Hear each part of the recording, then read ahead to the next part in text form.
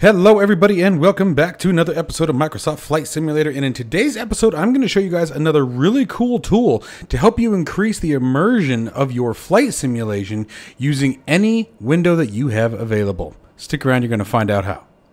If you are interested in acquiring any of my Overkills tutorial guides or simply interested in supporting the channel, please consider joining me on Patreon. Patreon subscribers level tier 2 and above have access to all of my guides as well as any future guides that come along down the road.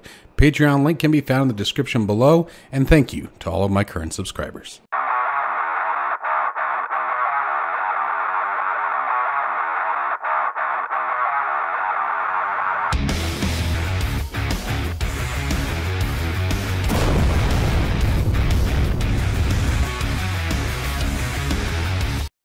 All right, guys. So the app we are going to be taking a look at today is called Simbox.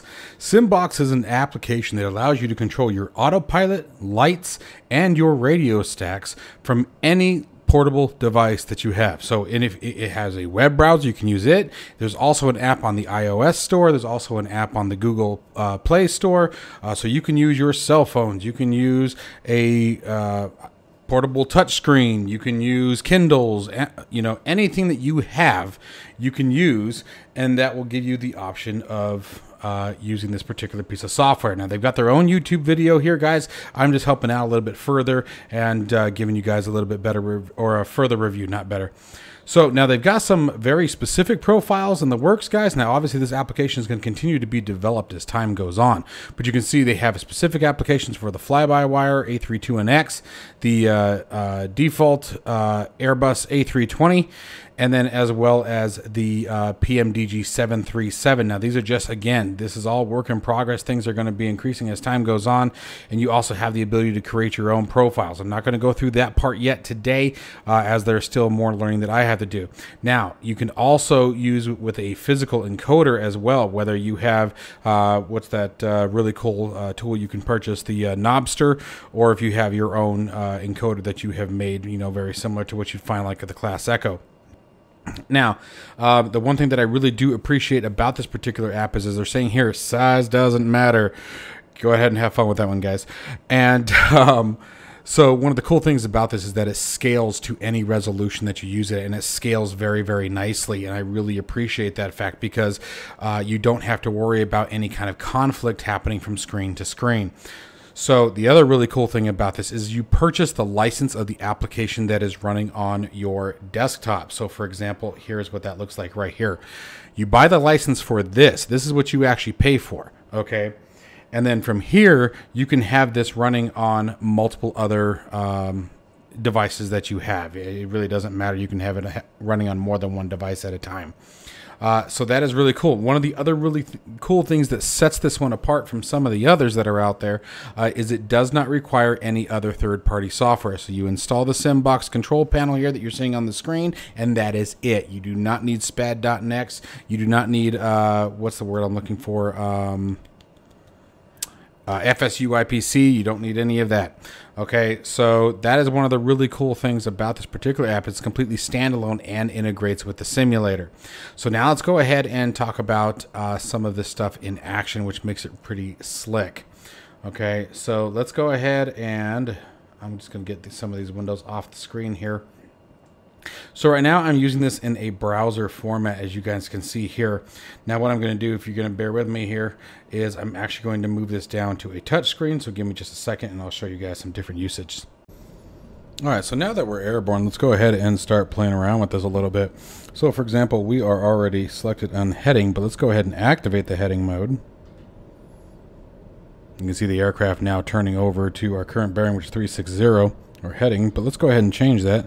And I'm just going to move this slider down the bottom. It does speed up, as you can see, depending on how fast you move it. Or you can really slowly dial that in. So that part's pretty nice here. Let's go ahead and set an altitude target here. Altitude target. Let's set an altitude. Let's see, what's our current altitude at? We're 7,400 feet.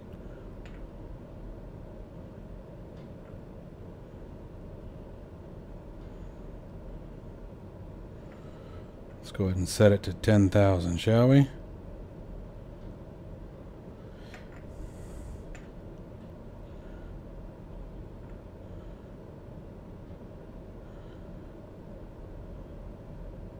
Let's back it up a little bit. There we go. All right, and now we got our altitude, but now let's figure out how we're going to get there. So let's go ahead and engage vertical speed, and let's send it up.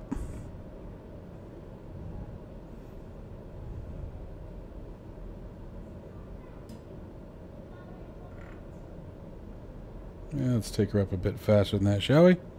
There we go. Increase that throttle a little bit. Oh, look. Got on contrails up ahead.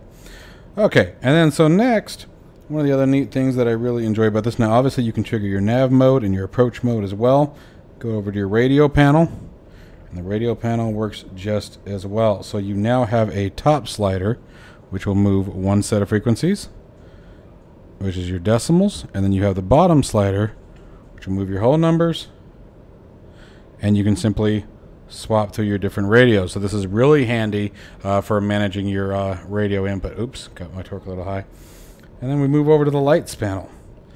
So let me get it uh, to where we can see that on the sim. So let's go ahead and turn the taxi light on. There's taxi landing lights. Now we don't really have a beacon light for this aircraft, so that doesn't really apply. But that's the other cool thing is it knows that. But for example, we could turn the strobe light off. Okay. Let's turn all the lights off. And just with a very simple touch. You got a few settings. You can enable the virtual knob. If you, uh, for example, like myself, you don't have something like the Knobster. Let me go ahead and move this uh, screen so you guys can see it. Just dawned on me. I'm glad I caught that. Give me just a minute here. Alright, so that'll be close enough for what we're doing here. Alright, and so in the settings we only have enable haptics and virtual knobs. So for example, if you're using a cell phone or a kin or an, uh, like an Android pad, something that has a vibration to it, uh, you can actually enable the haptic feedback on contact. So it is a very simple application in the aspect of what is capable of doing. But remember, the idea behind this one is strictly for immersion purposes. Okay, the idea behind it is to uh, provide you with a much better and more fluid way of managing the autopilot lights and uh, radio system, especially the radios. The radios goes a long way. Now, one of the things that I do wish that I could do, for example, here is now keep in mind I'm on the browser. I want to make that very clear all the way also guys that I am using a web browser for this particular demonstration. Normally I would be doing this for example on my uh, Android tablet um, in which case the scaling is significantly better. But if I wanted to what I could do is come down to this display here. I do want to show you guys something real quick. Uh, come on. I gotta find it. Uh, this is one of the problems with going monitor crazy like I have Alright, there we go. Is if we actually reduce the monitor there, the window there, you can actually make everything a bit easier to see. Makes it a little weird, a little backwards. Again, this product is still very much so in development. The developer is going to be seeing this video, so he'll be seeing this behavior the same way that you guys have. But this definitely gives you a much better look of the, for example, the radio system.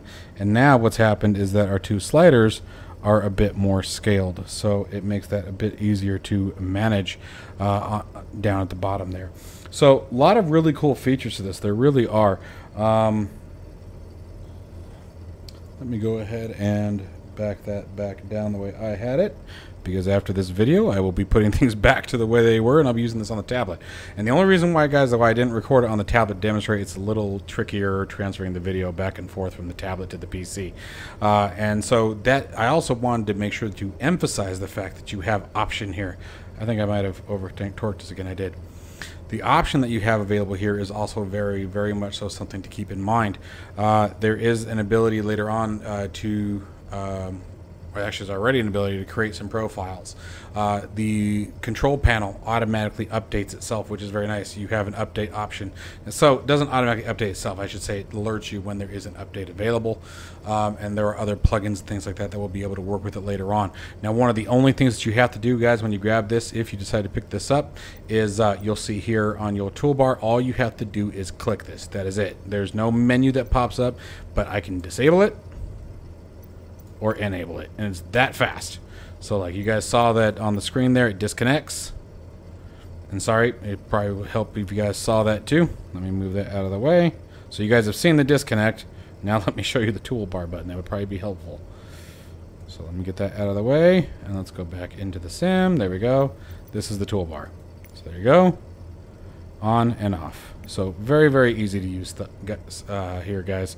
Very, very, very, very uh, comfortable application and uh, adds a lot of immersion and definitely is going to enhance your autopilot radio and lighting experience. I would say those are definitely the three main critical items when it comes to these applications and being able to function with those particular pieces because those are the most challenging, especially when you're dealing with mouse and keyboard. So, uh, let me know what you guys think down in the description below or comments below. Excuse me. I would love to hear your guys' feedback on this application and what you guys think. Of course, a link to it if you guys are interested in purchasing it can be found down in the description below. The uh, developer also has a Discord channel, guys, that you guys want to check out if you have any questions or concerns. Uh, he's been very, very responsive, very good guy to talk to. I've been very impressed by that. So, as always, guys, I hope you enjoyed the video. Hope you found something new and useful. I love bringing you guys new toys, tools, etc. Uh, seeing how much of your money I can get you guys to spend. I shouldn't be the only one going broke on flight simulation. So, as always, guys, stay safe and healthy, and I'll see you in the next one.